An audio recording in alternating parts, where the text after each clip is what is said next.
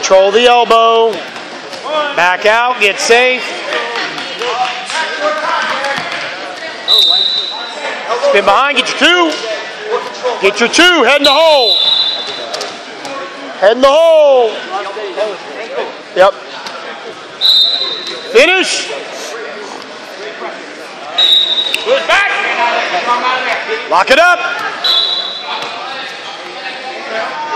up.